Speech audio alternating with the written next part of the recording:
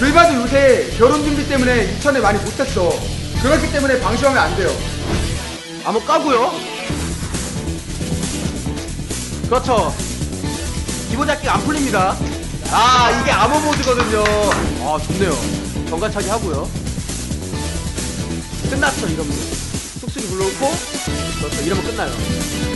이게 안 들어가네요. 어, 세스의 KDK는 일단, 와! 와!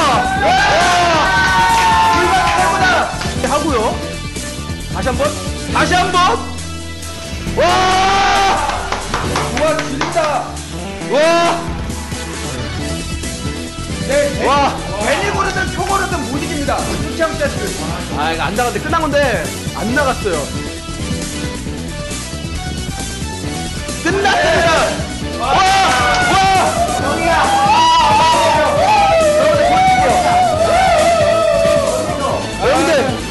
이렇게 해서 팀워파 한중전 42대 35로 한국이 승리를 거둡니다. 아, 축배를 들어요. 아, 선배 후원 선생님 감사드립니다. 영상 후원 감사합니다. 아, 아, 이렇게 해서 천만 원 상금을 자, 저희가 천만원 상금을 획득했습니다. 네, 소녀시대 구슬 중이라고요? 진짜요?